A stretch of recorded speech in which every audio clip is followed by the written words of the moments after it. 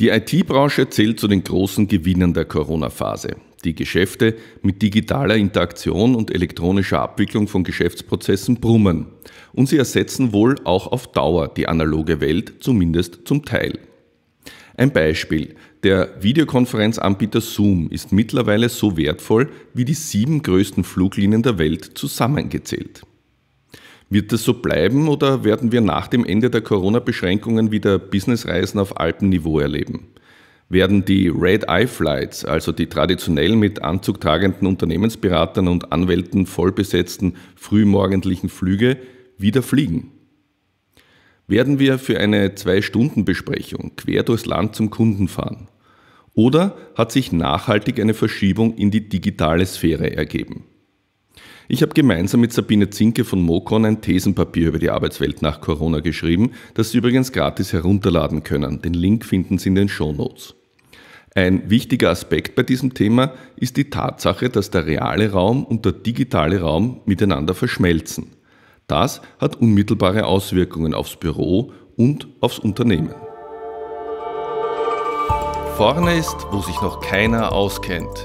Gut so, das verleiht uns Spielraum. Herzlich willkommen beim Blick nach vorn, dem Podcast zur Zukunft von Gesellschaft und Wirtschaft. Mein Name ist Franz Kühmeier und ich bin Trendforscher. Wenn wir an den heiligen Gral der IT-Szene denken, dann schauen wir nach wie vor in Richtung Silicon Valley. Dort sind genau jene Unternehmen, die Kommunikations- und Kollaborationstechnologie entwickeln und produzieren, angesiedelt, und zwar physisch angesiedelt. Und auch die Mitarbeiter arbeiten und leben genau dort. Das sieht man an den horrenden Immobilienpreisen rund um San Francisco herum ziemlich deutlich. Nach wie vor zieht es die talentiertesten Programmierer und Softwareentwickler genau dorthin in die Bay Area. Und das finde ich eigentlich wirklich ziemlich interessant und aufschlussreich.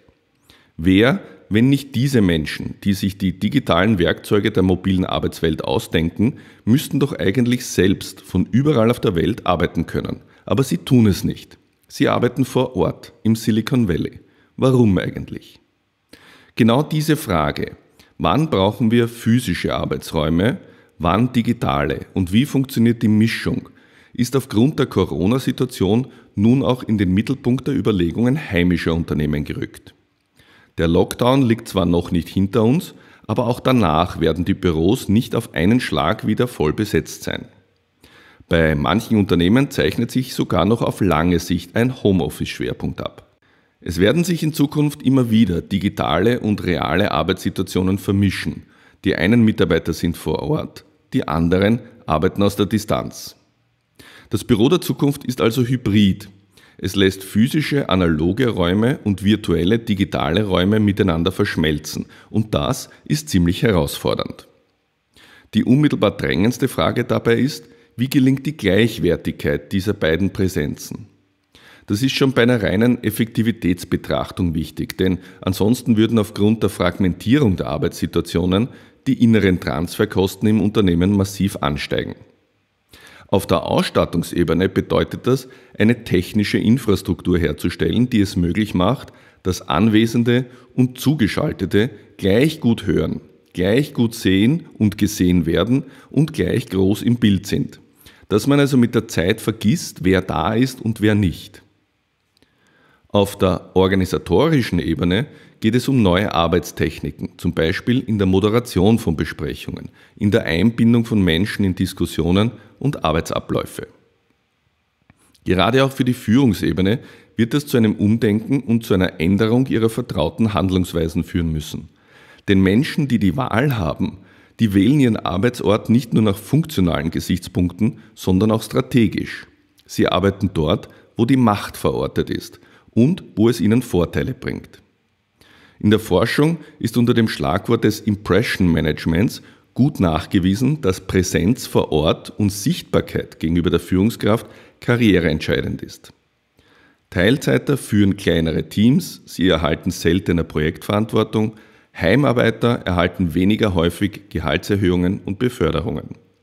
Das führt zu Verhaltensweisen, die Anwesenheit betonen oder zumindest vortäuschen. Das nennt man dann Präsentismus.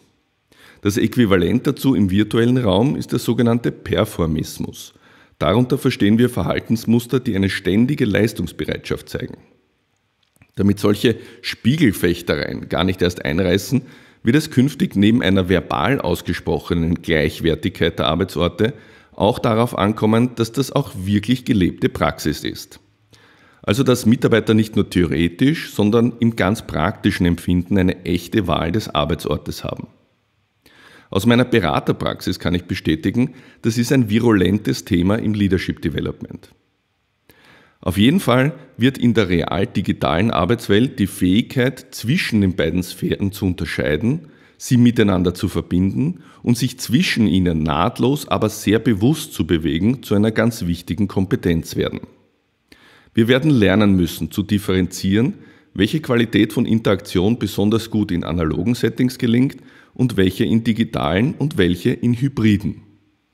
Es scheint ja so zu sein, dass beispielsweise Konfliktlösung oder kreative Prozesse oder das Bearbeiten von normativen Themen, wie zum Beispiel der Aufbau und die Stabilisierung von Vertrauen, dass diese Dinge vor allem in analogen, physischen Umgebungen, wo wir einander wirklich gegenüber sitzen oder gegenüberstehen, besonders gut gelingen.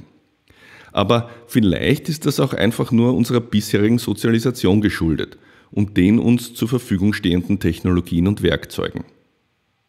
Wir werden uns jedenfalls stärker damit beschäftigen müssen, ob connected zu sein auch automatisch bedeutet, dass wir tatsächlich miteinander verbunden sind. Der Blick nach vorne von analoger Präsenz zu digitaler Präsenz. Corona hat das Pendel von einem Extrem ins andere schwingen lassen. Die Zukunft wird aus einer bunten Mischung von real-digitalen Arbeitssituationen bestehen.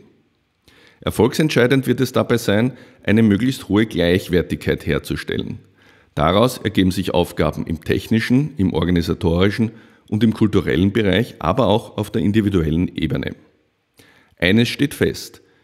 Wir stehen erst in den Anfangsgründen der digitalen Machbarkeit. Mit der Erweiterung unserer Kompetenzen, unserer Erfahrungen, aber auch technologischer Entwicklungen wird sich auch das virtuelle Handlungsspektrum erweitern.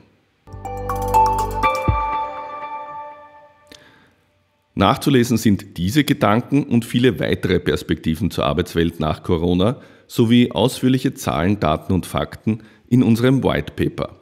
Das gibt's kostenlos zum Download. Den Link packe ich in die Show Notes.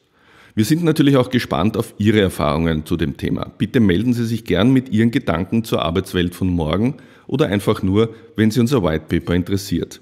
Schreiben Sie an kontakt@blicknachvorne.com. Das war eine Folge von Blick nach vorne, dem Podcast zur Zukunft von Gesellschaft und Wirtschaft. Mein Name ist Franz Kühmeier und ich sage vielen Dank fürs Zuhören. Alle Informationen finden Sie auf www.blicknachvorne.com. Abonnieren Sie diesen Podcast und seien Sie auch das nächste Mal wieder dabei, wenn es wieder heißt, vorne ist, wo sich noch keiner auskennt.